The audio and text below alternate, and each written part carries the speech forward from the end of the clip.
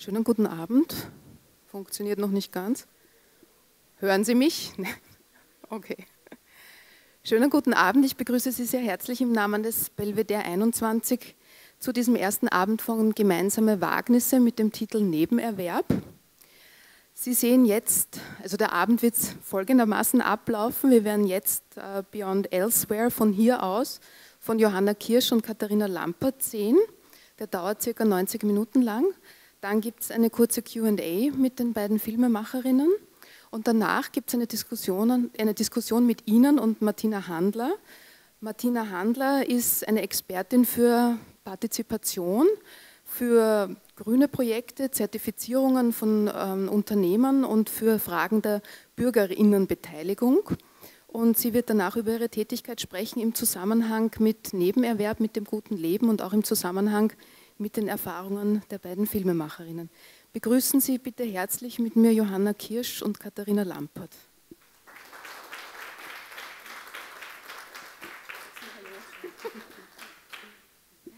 Ähm, ich freue mich, also wir beide freuen uns riesig, dass der Film wieder mal gezeigt wird und vielen, vielen Dank für die Einladung. Auch an dich, Christiane. Und ähm, ja, weil der ist jetzt lange in einer Schachtel gelegen und es ist total super. Ja, viel Spaß und wir freuen uns auf das Gespräch nachher. Genau.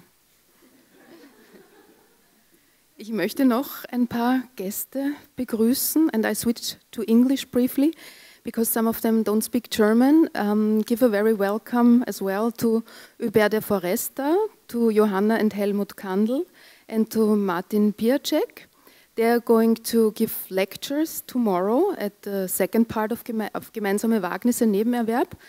Um, I think it will start uh, at 11 uh, with, yeah, now I would have to read the, the whole program, but let me say so much. Hubert de Foresta will talk or will give his talk at 12. Johanna Kandel will be in discussion with Barbara Steiner at 2, and Martin Piacek, I think, will speak about his project at 3, when I'm not mistaken. Okay, yes, so please come back tomorrow.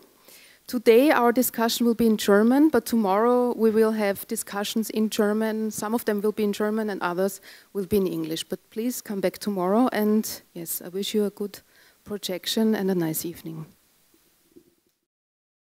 Um, ich jetzt wieder zu Deutsch. Ich weiß nicht, gibt es spontan schon Fragen, die Sie hätten? Meistens ist das nämlich nicht so. Deswegen beginne ich mal mit einer sehr aufgelegten Frage. Wie habt ihr die Protagonistinnen gefunden? Weil gab es dann, und, und genau, was sich dran knüpft, gab es mehr, aus denen ihr aussuchen konntet sozusagen? Also habt ihr wirklich so ein Casting auch gemacht auf eine gewisse Art und Weise? Also ähm, ja und nein. Also wir sind nicht lange gesucht und haben uns ganz viele Projekte angeschaut und ganz viele Leute getroffen, sicher über ein Jahr, oder? Und ähm, im Endeffekt sind es dann eigentlich sehr, also sind es dann eigentlich die Protagonistinnen geworden, die, wo es irgendwie so persönlich, am persönlichsten war quasi. Ja. Also wir haben uns, wir haben uns ja da auch reingehockt, wir waren ja dann auch nicht nur ein paar Stunden da oft, sondern haben da halt auch übernachtet und so und diskutiert und geredet. Und im Endeffekt waren das halt auch die, die dann mit uns können haben und die, wo das gegenseitige Interesse da war und auch die, die was davon wollten, ja, weil es, haben, es gab, wir haben viele interessante Leute und Gruppen getroffen, aber manche haben halt auch einfach gesagt, ja, also was, was sollen wir jetzt mit einem Film irgendwie, die man, also und, und die drei Positionen, die hatten halt auch auf irgendeiner Weise, auf unterschiedliche Weise halt auch ein Sendebedürfnis, sagen wir so. Und weil ihr gerade gesagt habt, ihr wart ja jetzt nicht nur zwei Tage dort oder so irgendwas, sondern es ist auch eine hm, Langzeitstudie, wäre jetzt zu viel gesagt, aber ihr geht auch immer so vor, dass ihr euch tatsächlich dann für längere Zeit auch mit ihnen trefft oder über einen längeren Zeitraum hinweg immer wieder besucht und dann auch teilweise länger als zwei, drei Tage mit ihnen auch lebt, oder? Viel länger, ja. Also bei der Ute zum Beispiel in Portugal haben wir wirklich immer über zwei Wochen dort gewohnt, während wir, während wir gedreht haben. Und dann hat sie, ist das alles auch so verschwommen und hat sich halt so vermischt. Also manchmal wusste man auch nicht, äh, passiert das jetzt gerade wirklich oder ist das im Film oder also es war, ja.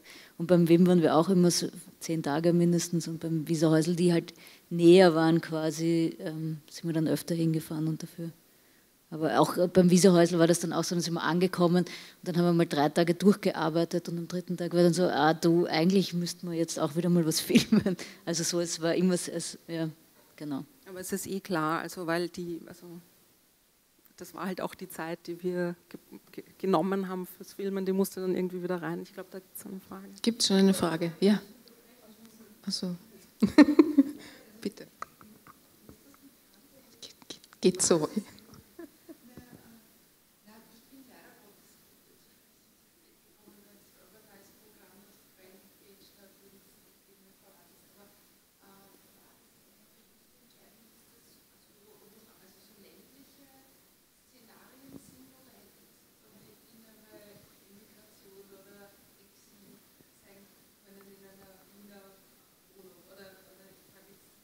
Haben, auch, wir haben uns ganz, wir haben uns auch mit solidarischen Ökonomien in der Stadt irgendwie äh, und auch recht viele Projekte in der Stadt getroffen.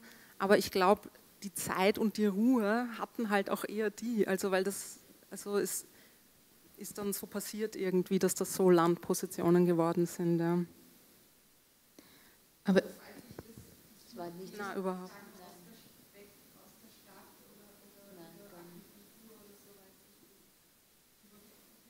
Ja, aber es ist eh lustig, weil der Film ist halt jetzt auch schon älter und es ist immer so eine Bestandsaufnahme und wir hätten jetzt wahrscheinlich auch, also wir sind extrem glücklich mit unseren, mit den Menschen, mit denen wir den Film gemacht haben, aber es ist halt, das war auch so 2010 irgendwie ein Moment und da hat uns das gerade irgendwie interessiert. Jetzt würden uns sicher andere Positionen und auch die, die Welt schaut jetzt, finde ich, noch einmal anders aus. Ja, also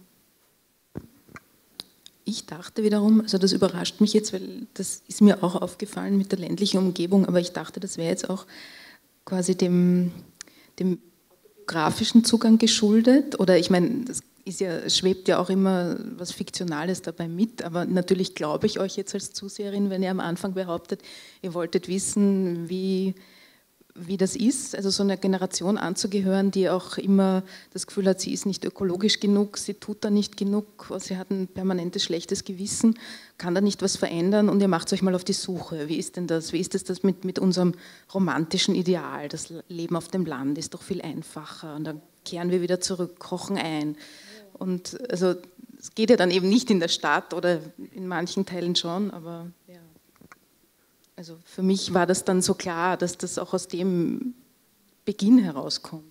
War es ganz, ganz sicher. Ich glaube, das hat sich jetzt auch, also ich, ich, muss sagen, für mich hat sich das irgendwie wieder total geändert, auch durch den, vor allem auch durch, durch das Machen von dem Film, wo ich irgendwann gedacht habe, während wir den Film gemacht haben, habe ich mir gedacht, ah, na, also ich habe eigentlich überhaupt keine Lust aufs Land zu ziehen, ja, also wirklich gar nicht, ja, und irgendwie so den Hof zu bewirtschaften und das eigentlich dann mein, mein Teil, den ich irgendwie beitragen kann, viel eher ähm, ist, einen Film zu machen oder also so jetzt. Ja. Aber ich weiß nicht, die Johanna hat sich damals, kann ich mich erinnern, oft so im Internet ähm, Häuser am Land angeschaut. Habe ich jetzt schon lange nicht mehr gesehen. Wir wohnen jetzt in Meidling, ich bin ganz zufrieden da. Es ist auch gar nicht so unökologisch. Ja. Gibt es Fragen? Weitere Fragen? Ja, bitte.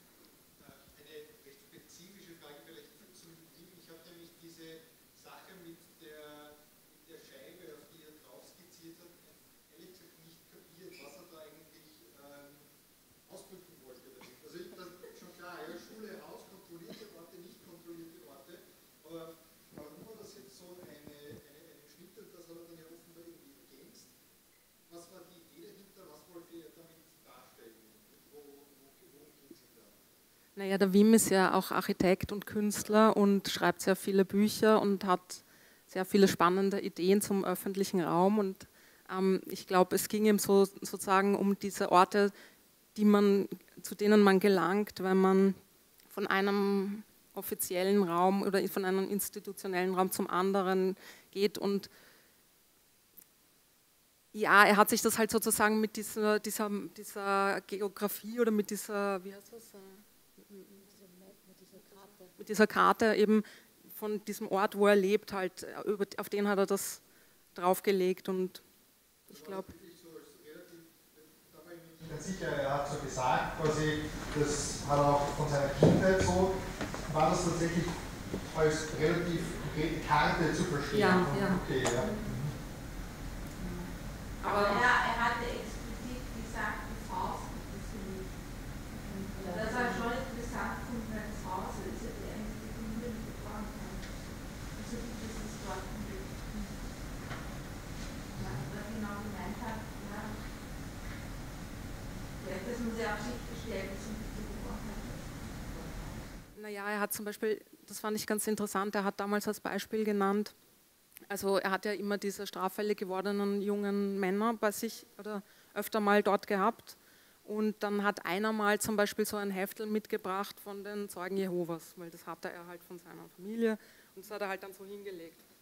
Und dann hat er halt gesagt, also das geht nicht, weil das ist quasi ein, damit übernimmt er den Raum oder der, der, das macht ein Territorium irgendwie und oder, oder eben auch diese, also das ist so wie, ich kann es nicht genau erklären, was der Wim sich alles äh, denkt. Wie gesagt, er hat ganz gute Bücher geschrieben. Ähm, aber er hat halt immer, dass sein Anliegen war halt, dass das quasi ein Raum ist, der wirklich für alle ähnlich funktional ist und verfügbar ist. Dieser Hütte dort, ja. Aber diese, diese Momente des Widerspruchs gibt es eigentlich bei allen, habe ich das Gefühl. Und ich finde es aber auch gut, dass ihr, also obwohl ihr präsent seid, sehr oft über die Stimme oder dass man auch sieht, dass ihr Tätigkeiten ausführt, äh, fragt sie dann nicht nach. Und das fand ich am Anfang irritierend und dann fand ich es aber gut, weil es soll ja kein Kreuzverhör sein von den Personen und sagen, na jetzt musst du aber auf den Punkt kommen. Also das ist bei Ute genauso, die dann mal sagt, ja, sie will nicht dieses, also diese, diese christliche Nächstenliebe ist schrecklich und dann spinnt sie auch seltsam, also diesen Satz draus, wo ich mir denke, ich habe so ein Gefühl, ich wüsste, um was es geht, aber ganz klar ist es mir nicht eben. Und das fand ich eigentlich recht schön, dass ihr da nicht nachfragt dann, sondern das mal so stehen lasst. Und das bringt auch irrsinnig viel, bei, bei den, um, um, herauszuarbeiten oder zu sehen, auch wie unterschiedlich die Figuren sind und dass sich die meisten eigentlich bewusst sind, dass es wahnsinnig viele Widersprüche gibt, sei es jetzt in der Biografie oder sei es in den Vorstellungen von, von dem Leben, das man da lebt oder hat. So, das war jetzt keine Frage. Nein, aber ich glaube, das hat es auch irgendwie schön gemacht mit, mit, mit also ich meine, ich denke mal, wir haben die alle diese Widersprüche in uns auch ständig. Ja, und ich fand, das war irgendwie auch ein, ein total schöner Teil, auch bei der Ute, ja, dass das irgendwie so immer dieses, weil am Anfang, ich kannte die Ute überhaupt nicht, wie wir das erste Mal sie getroffen haben. Ich habe mir gedacht, ah, das ist alles so heilig, heilig und, ähm, und, und, und dann immer mehr diese Brüche halt zu sehen und also das, das hat sie irgendwie sehr, ja, das hat sie irgendwie total schön gemacht und, und, und sehr, ja, greifbar quasi auch, ja. Und, und, und halt auch realer, weil das, das andere gibt es halt auch nicht. Ja. Gibt es weitere Fragen oder Anmerkungen? Ja. Die Ute hat, ähm, auf dies, hat dieses, dieses riesige äh, dieses Stück Land in Portugal gekauft mit ihrer, mit ihrer Freundin gemeinsam und die haben aber in zwei unterschiedlichen Häusern gelebt und haben sich dann immer wieder getroffen auf diesem Land. Aber die Ute ist leider gestorben, genau, ja. Die ist gestorben kurz bevor wir den, also sie hat den Film nie gesehen, leider. Ja. Es ist krank geworden, genau. Ja, und das ist schon interessant, so von wegen so Widersprüche oder, oder bei der Ute, dass, dass sie halt wirklich da in dem dann sehr konsequent war in ihrem Sterben, dass sie halt wirklich gesagt hat, das, was sie immer gesagt hat, sie möchte damit der Medizin nur so und so viel zu tun haben, das hat sie einfach dann wirklich durchgezogen. Also das war schon beeindruckend zu sehen. Also egal wie viele Widersprüche es gab in dem Ganzen, da war sie dann sehr konsequent. Ja. Ich habe noch eine Frage zum Filmischen. Wie seid ihr beim Schnitt vorgegangen? Weil teilweise war ich, war ich total überrascht, nämlich bei manchen Übergängen, also so von Handarbeit zu Handarbeit. Und, und dann habe ich mir gedacht, ah, es ist auch interessant, wie sie es verwebt. Aber es ist hm, wie soll ich sagen? Ja, ich, könnt ihr da was dazu sagen? Wie war es? Was waren so Entscheidungen? Oder gab es ein anderes, gab es das Konzept von Anfang an? Oder war das was, das sich dann im Laufe des Drehs entwickelt hat? War das was, das ganz am Ende erst dazugekommen ist? Also eigentlich hat sich total viel im, also es gab schon so ein Konzept und oft waren wir beide total erstaunt, wenn wir drehen waren, dass die Szenen, die wir ähm, für diese Einreichung beim Bundeskanzleramt, dass die wirklich, also die wir geschrieben hatten, dass die dann wirklich passiert sind, während wir dort waren. Und wir so, ah wow, cool. Und, ähm, und aber ganz viel hat sich halt ähm, einfach auch ergeben, während wir dort waren und, und, und, und, und, und in, in, dem, in, dem, in, in, der, in dem ganzen Prozess, oder? Und ja, und auch das Schnitt so, wir, weil ähm, wir haben uns auch zwischendurch gedacht, vielleicht erzählen wir einfach diese drei Geschichten hintereinander, aber dadurch, dass sie sich so in, also dass das ja auch über die Jahreszeiten gegangen ist und sich so verwoben hat, in dem auch in der Auseinandersetzung untereinander und wir dann immer dort und, und so haben die Geschichten sich für uns halt auch verwoben und dann hat das so eher gepasst. Ja. Gibt es noch Fragen? Ja, bitte. Ihr sagt, danke. Für euch haben sich die Geschichten verwoben, äh, auch irgendwie für die Personen im Film? Also hatten die irgendwelchen Kontakt über euch mm, oder vielleicht sogar unabhängig voneinander?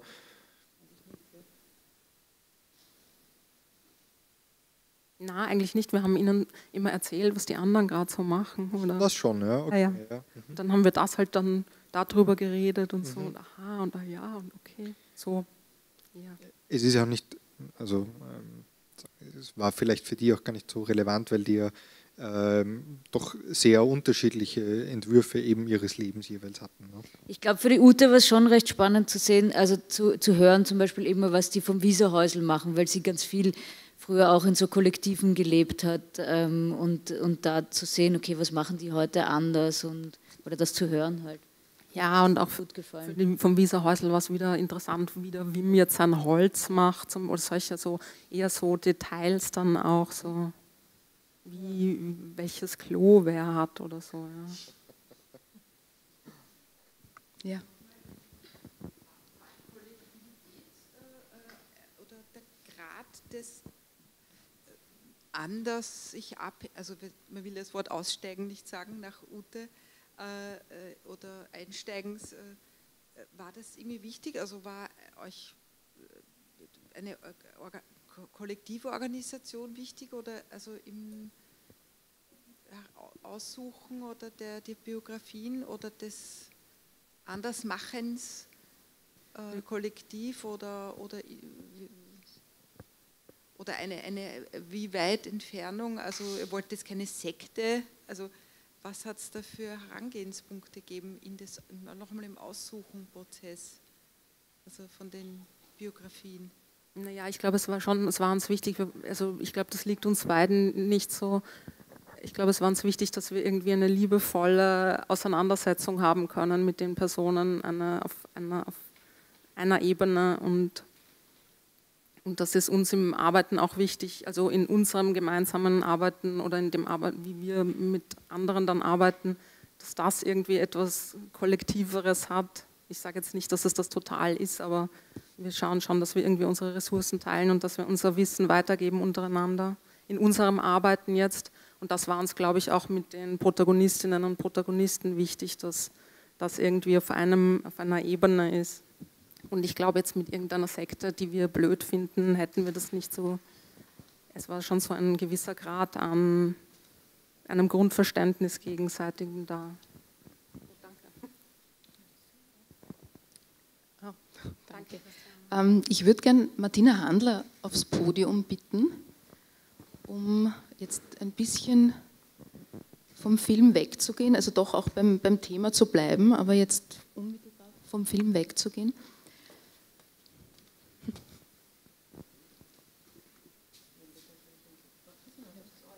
Nein, nein, nicht das eine haben dich.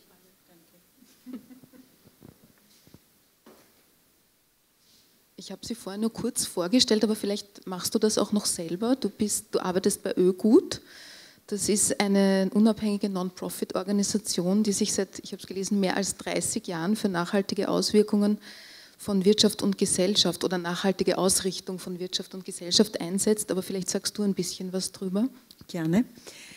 Ähm, Ögut ist, äh, ich glaube, du hast es gesagt, Öko, äh, Österreichische Gesellschaft für Umwelt und Technik und gegründet wurde die Ögut nach Heimburg, nach diesem Konflikt in der Au, ähm, um äh, andere Konfliktlösungsarten sozusagen ähm, da möglich zu machen. Ähm, und ein, das ist ein Thema, Konflikt, äh, also Mediation, Konfliktlösung, so, das ist ein Thema, aber wir haben viele unterschiedliche Themen. Mein Bereich ist Partizipation äh, und ein zweiter nachhaltiges Investment.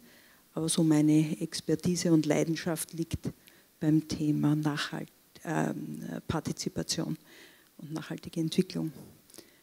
Und ähm, eine meiner Leidenschaften ist auch gemeinschaftliches Wohnen. Insofern habe ich jetzt diesen Film auch, den ich gerade zum ersten Mal gesehen habe, sehr, sehr spannend gefunden. Ich komme vielleicht nochmal, bleiben wir kurz noch bei Ögut und deiner Arbeit und dann fände ich es schön, wenn sich auch so ein bisschen eine, eine Konversation zwischen, zwischen euch dreien entspinnen könnte, vielleicht eh auch über Fragen des kollektiven Wohnens oder die Frage, wie, wie Partizipation dann auch im Film vorkommt oder eben auch nicht. Das ist dann, wäre dann die Frage.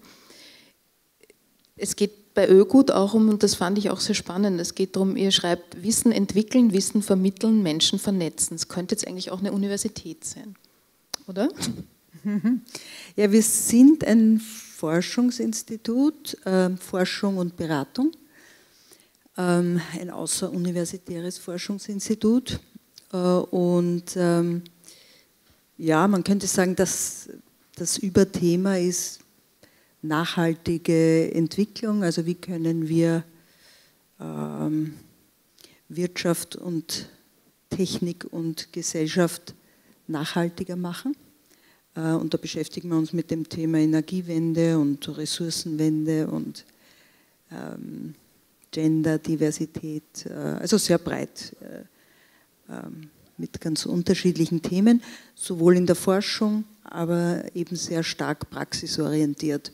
Und im Partizipationsbereich machen wir auch sehr viele partizipative Prozesse zu ganz unterschiedlichen Themen. Also auch äh, zum Beispiel, wie können Flüchtlinge in Gemeinden gut integriert und aufgenommen werden, war ein, ein, ein Prozess.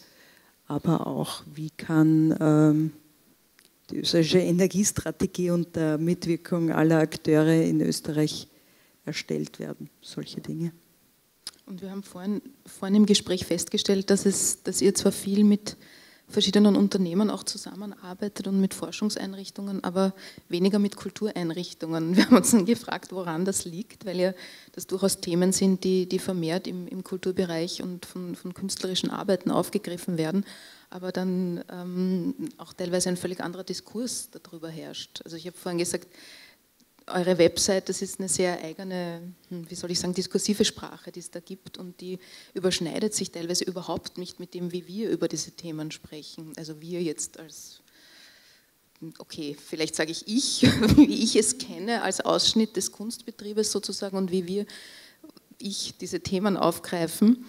Und ja, warum Glaubst du, ist das so oder gibt es da Berührungsängste oder sind das einfach zwei Felder, die sehr unabhängig voneinander existieren? Wie siehst du Möglichkeiten, wie die sich befruchten könnten?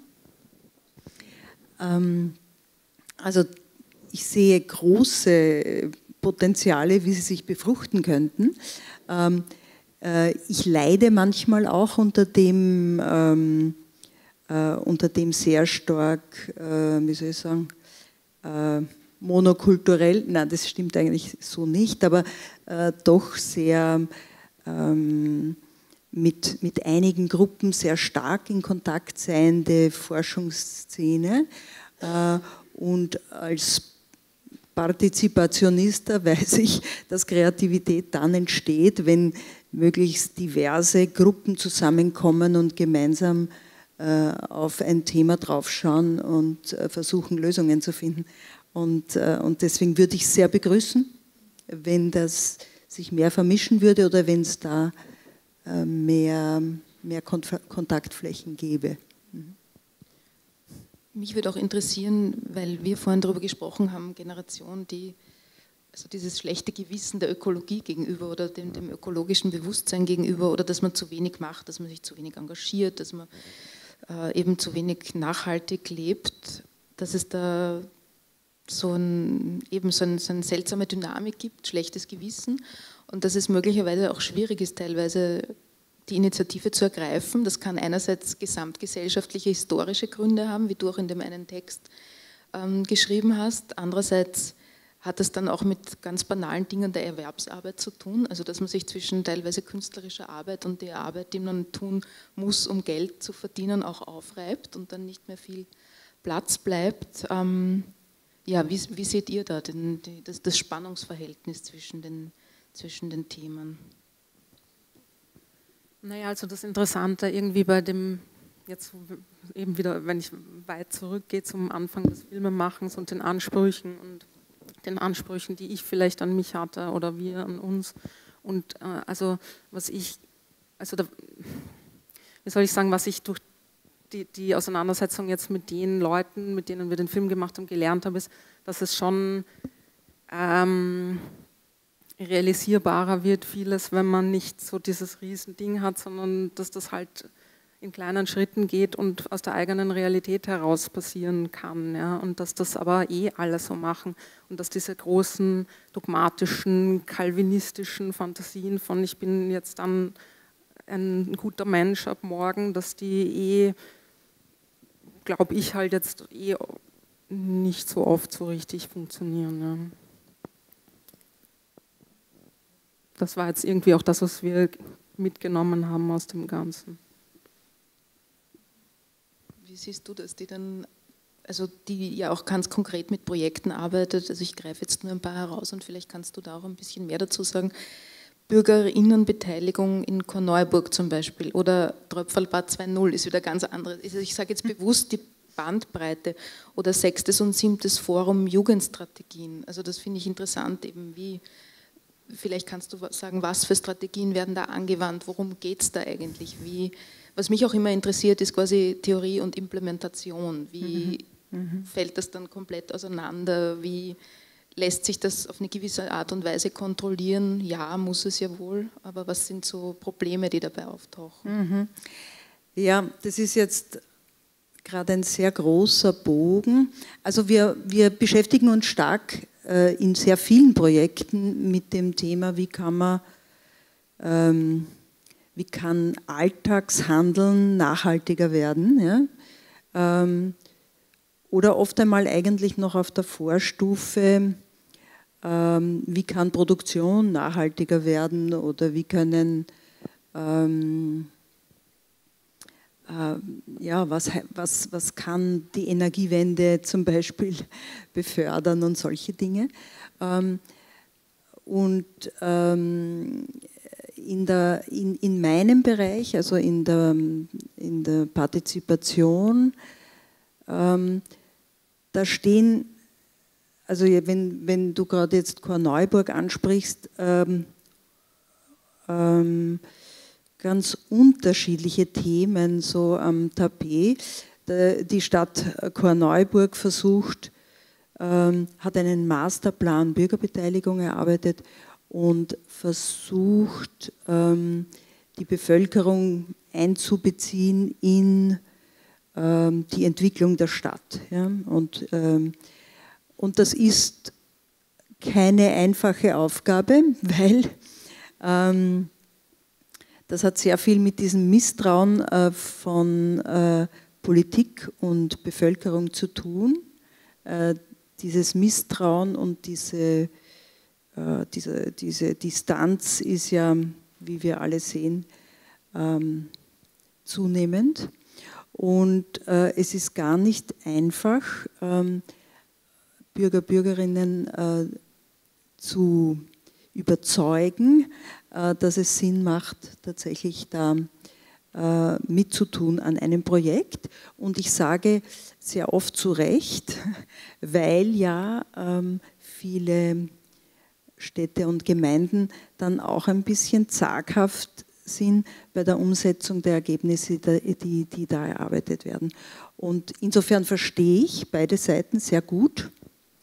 Äh, und ich verstehe, ähm, also ich habe schon viele schlechte Beteiligungsprozesse gesehen, wo ich ganz äh, deutlich verstehe, warum ähm, viele, die sich da beteiligt haben, frustriert sind. Und ähm, äh, ich glaube, da muss sich viel auch an der politischen Kultur verändern, ähm, damit ähm, Partizipation wirklich noch stärker gelebt werden kann. Äh, weil da gehört ganz klar äh, eine also wenn das nicht Bottom-up-Prozesse sind, die, die einmal auskommen, auch ohne, äh, ohne eine Stadt oder eine Gemeinde, gibt es ja auch da vieles, ja, selbst organisiert. Ähm, aber in dem Moment, wo sozusagen partizipative Prozesse ähm, initiiert werden von der Stadt, äh, muss natürlich ein Commitment da sein, mit den Ergebnissen irgendwas zu tun. Und wenn dem nicht so ist oder wenn nicht zwischendurch auch einmal ein, ein, ein Blick drauf geworfen wird, ob das in eine Richtung geht, wo äh, nachher die Stadt dann tatsächlich, tatsächlich auch was anfangen will damit, dann äh, wird es halt oft zu einem Problem und dann äh, tröpfelt es ein bisschen so dahin. Das, abgesehen, das ist noch nicht das Tröpfelbad, das wäre jetzt die Überleitung, aber dann tröpfelt das Engagement der Bürgerinnen natürlich verständlicherweise äh, nur so dahin. Und das ist halt, äh, ja, Partizipation ist halt so ein, ein ich sage immer, das ist so ein, so ein komplexes Feld, weil natürlich soziale, jedes soziale Geschehen ist ein sehr dynamisches und, ähm, und oft einmal unwägbar und da, da spielen so viele Faktoren mit, damit etwas gelingt. Äh, und da spielt natürlich auch ganz stark auch äh, die Kommunikation eine Rolle und das haben viele Gemeinden und Städte noch nicht so, so gut gelernt, sozusagen wirklich verständlich und motivierend zu kommunizieren ähm, und auch danach zu kommunizieren, was mit den Ergebnissen passiert und so weiter. Jetzt ging es bei euch, ich komme jetzt wieder zurück, versuche so die Brücke zu schlagen. Jetzt ging es bei den Protagonistinnen, die ihr gezeigt habt, nicht so sehr um diese klassische, oder klassisch ist es eh nicht, aber um diese Partizipation im Sinne einer Bürgerinnenbeteiligung, sondern eher um so eine Selbstermächtigung. Also zu sagen, ich, ich mache mir dieses Leben selber, ich lasse mich eben nicht von Strukturen ähm, dominieren oder beeinflussen, sondern schaue, was ich selber leisten kann oder wie ich es mir einrichten kann. Das ist aber wiederum, für mich ist es trotzdem integrativ von so etwas wie, wie Partizipation. Und was ich schön daran fand, ist, dass auch wieder die Widersprüchlichkeit von diesen Prozessen oder man kann es wahrscheinlich Dynamik auch nennen, äh, wie sich die ausdrückt in den, in den verschiedenen Formationen. Also die einen sagen, nein, wir wollen dieses, diese Kleinfamilie, diese Individualis Individualisierung der Gesellschaft lehnen wir ab, deswegen leben wir im Kollektiv. Die anderen sagen, nein, ich kann eigentlich nur so fern ableben und möglichst alleine mit Ute, die, äh, mit, mit meiner Partnerin, die aber dann auch weiter weg von mir wohnt und ja, also wo das wiederum eine ganz andere Möglichkeit ist. Inwiefern ist, ist also ich, ich verstehe Partizipation auch als, als Ermächtigung oder Selbstermächtigung. Würdest du das auch so verstehen? Oder? Unbedingt. Ja.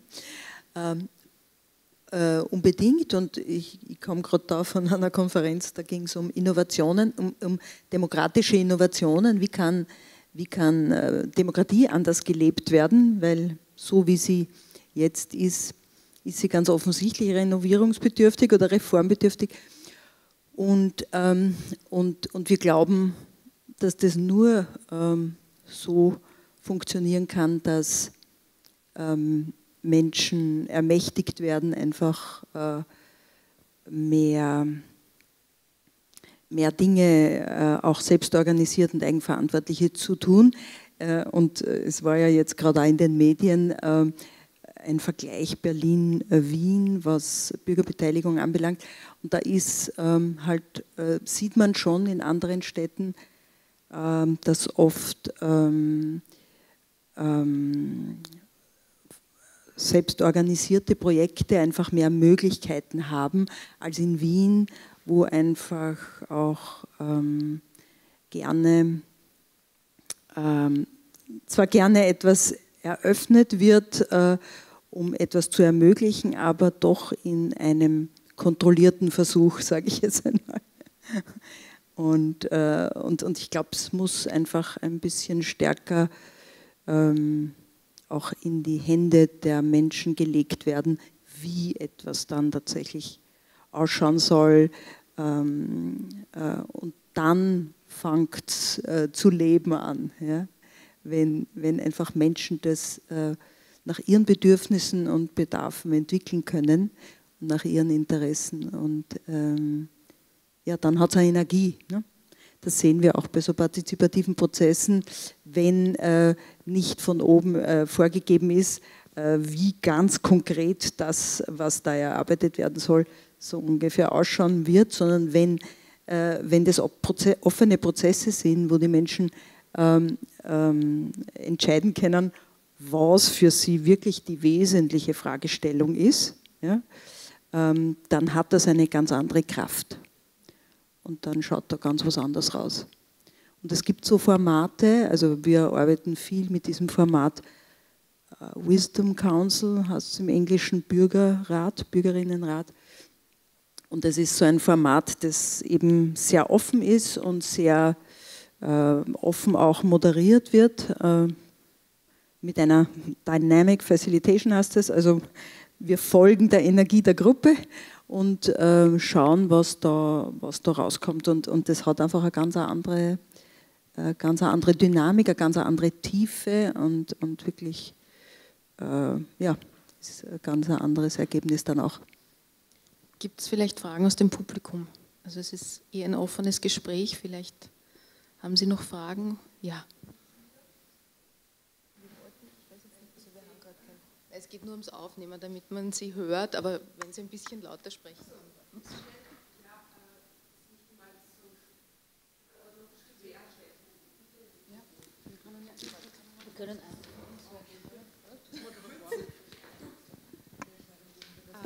na, weil ich komme gerade von der Führung am Sonnenviertel mit, mit Robert Deml, äh, wo die Baugruppen gerade äh, vorgestellt wurden. Also es hätte thematisch super gepasst irgendwie, aber das war jetzt nicht im Urbanize-Programm jetzt komischerweise der Film. Also Zufall. Und da, da war irgendwie gerade so die Frage, äh, so Ausschreibungsbedingungen von der Stadt für ein bestimmtes, also Stadtentwicklung jetzt betreffend, also Wohnprojekte betreffend. Also nur um so als modellhaft jetzt nicht auf, auf Stadtplanung einzugehen, aber da war halt, da haben sie gesagt, da waren halt mit einem gewissen Lernprozess schon die Ausschreibungen so gemacht, dass eben diese Partizipation dort sozusagen blühen kann. Also das ist so ein Geben und Nehmen, als die, diesen, diesen Handlungsfeld möglich zu machen, mit der Widmungen in dem Fall als politisches Instrument oder mit halt ein paar Engagierten einfach auch mal bei der ÖPB, wenn da einer sitzt, dem es wurscht ist, dann ist, kann man weniger machen. Es hängt dann oft auch so von Persönlichkeiten ab oder wie die halt drauf sind. Aber das war jetzt zum Beispiel, fällt mir jetzt gerade das Beispiel ein, wo so Werkzeuge, ich meine, die werden zwar jetzt nicht hergeschenkt, es muss schon auch ein, ein Demand, so ein, ein, ein Drang da sein, dass die Politik überhaupt reagiert. Also so war das ja bei den Baugruppen. Also da war, das war so eine Dynamik, die sich gegenseitig da hochgezwiebelt hat. Also ich, hm. Da kann ich vielleicht gleich was dazu sagen, weil ich wohne in einem dieser Wohnprojekte im Sonnenviertel. Ähm, und also im Gleis 21, also dieses Holzhaus im, ähm, Gleis, äh, im Sonnenviertel. Und, ähm, und da habe ich wirklich das Gefühl, das ist einfach, ähm, das ist gut gelungen oder da sind gute Bedingungen da. Ähm, das sind insgesamt fünf ähm, fünf bis sieben, je nach Art der Zählung, äh, Baugruppen, Wohnprojekte, Gemeinschaftswohnprojekte. Und wir haben eben ähm, das Haus, also es gibt unterschiedliche Formen auch. Äh, unser Haus ist Gemeinschaftseigentum, es gibt auch Baugruppen, die haben Eigentumswohnungen und so weiter. Und, ähm, und das ähm, ist eben wirklich insofern gut gelungen, weil äh, die Stadt Wien gemerkt hat, äh, dass Baugruppen in einem Stadtviertel einfach eine sehr positive Wirkung haben. Ähm, ja, genau, weil, weil meistens solche Menschen in einem, in einem, so einem Gemeinschaftswohnprojekt wohnen, die erstens einen Wert auf Gemeinschaft legen, also und das ist meistens nicht nur beschränkt aufs Haus, sondern halt aufs Kretzel. Und, ähm, und ja, und, und das hat halt positive Auswirkungen, also dass man einfach dann ähm, die Nachbarschaft mitentwickelt quasi. Und, und das ist halt in einem Viertel, wo fünf Baugruppen sind, sind das einfach gute, gute Bedingungen. Auch die, die beiden ähm, ähm, Urbanize Verantwortlichen werden in, dem, in der Baugruppe Bikes and Trails wohnen, genau. Elke Raut und der Christoph Leimer. Und äh, also insofern sind viele engagierte Leute auch im, im, im Viertel. Und es ist schon unser Anspruch, dass man nicht nur im Viertel äh, uns gut vernetzen, sondern dass wir wirklich auch sozusagen über, über die Grenzen dieses neuen Viertels hinaus da ähm, ähm, hinaus wirken oder die Leute auch hereinbringen und dass es mehr äh, auch eine Mischung gibt, weil das ja oft die Gefahr ist in solchen neuen Wohnvierteln.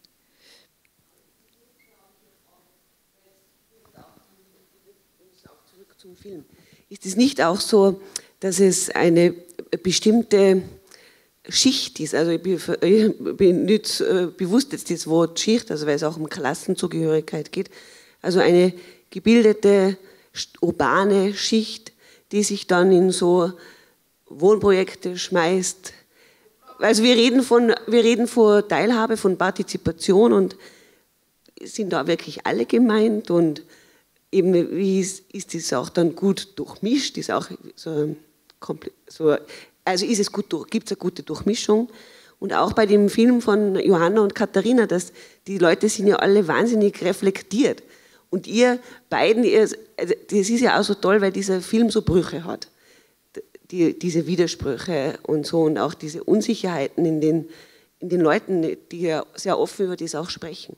Aber auch ihr beide, ihr werft euch ja gleich am Anfang in den Film mit diesen Fragen. Also das haben die, unsere Eltern uns vorgeschlagen.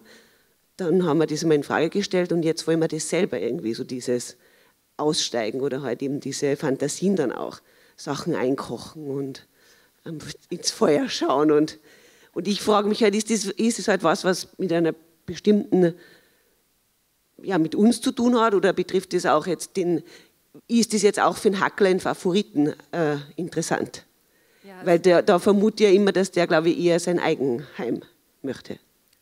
Na, ich fand es lustig, weil wir vorher, oder ich vielleicht habe, also so überlegt haben, eben weil er schon so alt ist, der Film und so, und dass es halt lustig ist, was man zu einem gewissen Zeitpunkt im Leben macht halt. Und dann habe ich mir gedacht, ja, es ist ganz klar ein Film von weißen privilegierten Menschen für weiße privilegierte Menschen. Und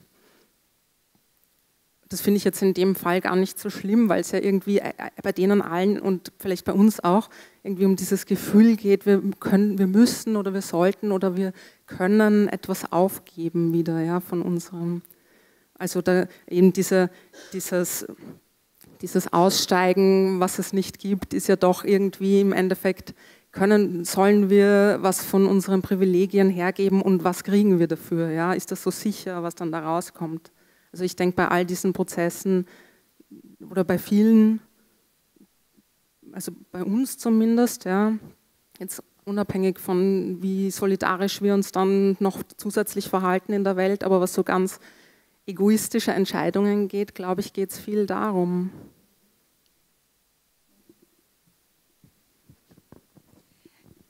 Ähm, ich kann das nachvollziehen. Ähm, ähm, das ist natürlich eine gewisse also es gibt Kollegen in meinem Bauprojekt, die sagen, wir sind so heterogen. Und ich sage immer, wir sind gar nicht heterogen, nur weil die einen halt äh, Architekten sind und die anderen Politikwissenschaftler.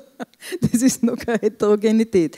Aber ähm, also wir haben schon ähm, geschaut, also es gibt einen Solidaritätsfonds und ähm, da also der intern sozusagen angelegt wurde.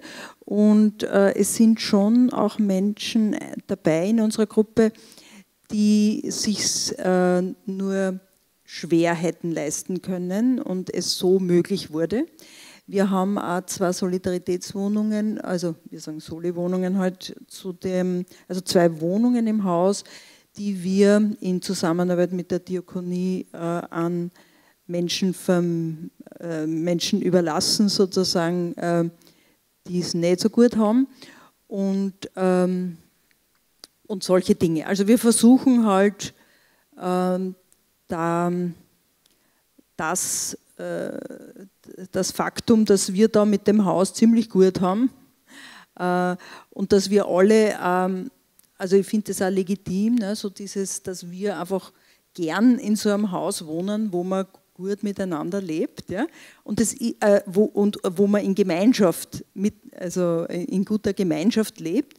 Und das ist aber auch etwas, was man sich schwer erarbeiten muss, weil das ist, wird einem nicht geschenkt und das ist ja da auch angeklungen in eurem Film, dass man sich manchmal denkt, habe ich mir das wirklich ausgesucht? Ja, es kommen Konflikte, ne, wenn man eng zusammen wohnt, wenn man viel Kontakt hat, dann kommen natürlich auch Konflikte auf und äh, das ist was, ähm, wo man einfach dranbleiben muss und wo man schneller, das hat mir auch gut gefallen, weil das trifft es auch gut, wo man schneller einfach auch sagen muss, das geht mir jetzt total auf die Nerven. Ja? Und das sind auch so Dinge, und das finde ich aber auch wieder so spannend, ja? Äh, dass, äh, dass eben, das ist ein Lernprozess für uns alle. Es ist oft einmal leichter, einfach so nebeneinander herzuleben. Da bin ich zu nichts verpflichtet und muss ich auch nicht irgendwie. Hm, äh, mich stellen, äh, gewissen Situationen. Und da müssen wir halt gemeinsam daran arbeiten, dass, dass wir uns aushalten. Und ähm, ja, und das finde ich auch wieder, finde ich eigentlich eine schöne Aufgabe, weil es hat natürlich auch sehr viel Positives. Ähm, ich bin gerade jetzt Wochen weg gewesen und äh, gebe den Schlüssel einfach meiner Nachbarin und die kümmert sich um alles, was so daherkommt. Ne? Also ist schon praktisch. Nein, die Stadt Wien ist ja die, die größte in Wohnen. Und es ist schon wahnsinnig liquid, also erlaubt ist fast nichts an Bewohnungen. Weil wir haben so Projekte gemacht mit Gemeindebauten. Es ist ja alles verboten, mehr oder weniger, oder sie kontrollieren sich auch gegenseitig so sehr die Bewohner, Bewohnerinnen, dass es sich alles verbieten. Also da müsste man viel mehr wahrscheinlich, also da müsste man schon was gerechnet werden. Also es muss alles gleich sein, es muss alles einheitlich sein, wenn du versuchst, immer so etwas anderes wirklich in deine Aufenthaltung zu sein. Ja. Ja. Das ist ein bisschen schade.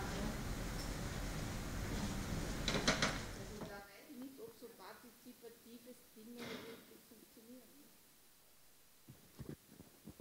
Darf ich da noch schön was sagen? Also ich kenne, ich kenne so Wohnhausanlagen, wo, ähm, wo es eben auch große Probleme gegeben hat, ähm, in Graz zum Beispiel ein Projekt, ähm, und äh, wo man gesagt hat, da, da müssen wir was tun. Und äh, ja, gerade in, in Gemeindebauten gibt es ja oft einmal Probleme, auch, ne? auch in Wien. Äh, und da gibt es schon viel äh, da gibt es wahnsinnig viele Ansatzpunkte, die sehr, sehr positiv sind. Ja, in, diesem, in dieser Grazer Wohnhausanlage hat man einfach ähm, Leute dann gesucht, die grundsätzlich so ein bisschen eine soziale ähm, Ausrichtung oder soziale Kompetenz mitbringen und auch äh, Lust dran haben, äh, so ein bisschen mit Menschen was zu tun. Und die hat man geschult, so ein bisschen ein Basiswissen zu, wie gehe ich mit Konflikten um, äh, wie arbeite ich so ein bisschen partizipativ. Und äh, die sind Ansprechpersonen in dieser Wohnsiedlung, äh, wenn es irgendwo kriselt, wenn es irgendwo äh, Spannungen gibt. Und das ist so ein bisschen ein Früherkennungs- und Frühbehandlungssystem und sowas finde ich super, ja? weil, weil es ja oft, wenn es irgendwo kraucht, ist es ja deswegen, weil alle weggeschaut haben lange Zeit und es ist immer mehr eskaliert und dann, und dann kann man halt fast nichts mehr machen, ne? weil es einfach schon so vertrackt ist. Und, und eigentlich wäre das... Ähm, super Aufgabe. Ich meine, ich, die, es, gibt, es gibt ja in Wien tolle Einrichtungen wie die Bassena am Schöpfwerk, die einfach ganz, ganz toll in diesem riesen Wohngebiet mit ich weiß nicht, 28 Nationen sind dort, ja, ähm, äh, und, und eben auch Österreicher und äh, alle möglichen. Und da gibt es natürlich auch viele Konflikte, wie in vielen Gemeindebauten. Und, äh, und die machen ganz tolle Arbeit. Also wenn es die Bassena nicht gäbe, ähm, war das ganz, ganz, ganz schwierig. Und eben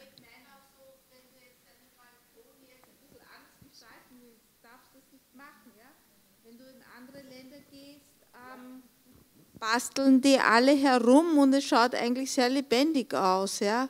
Und, und bei uns ist das immer dann halt so ganz einheitlich, der Rasen ist ganz gerade und das ist ganz, ja, es wird ja alles abgenommen, alles wird gepflegt und der Müll wird weggeräumt und so weiter, aber, aber Freiheit gibt es wenig. Ja. Das hat aber auch ein bisschen, also das sind ja auch immer so semi-öffentliche Räume, also so halb privat, halb öffentlich. Ich glaube aber, dass das auch viel mit den Reglementierungen im öffentlichen Raum zu tun hat und mit einer fortschreitenden Reglementierung desselben, also der sich dann eben auch auf diese halb privaten, halb öffentlichen Zonen ausdehnt.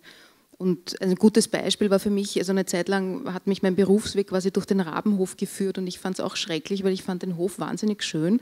Und drinnen siehst du aber sofort das Schild, was, was Kinder zum Beispiel alles nicht dürfen. Und ich fand das echt absurd, weil ich mir gedacht habe, ist das nicht herrlich für ein Kind dort aufzuwachsen und dann wahnsinnig viel Wiesenfläche zu haben, alle diese Gänge, die teilweise ins Nichts führen, wo sie sich verstecken können, Ball spielen, was auch immer. Also das, das war nur eine von diesen Absurditäten.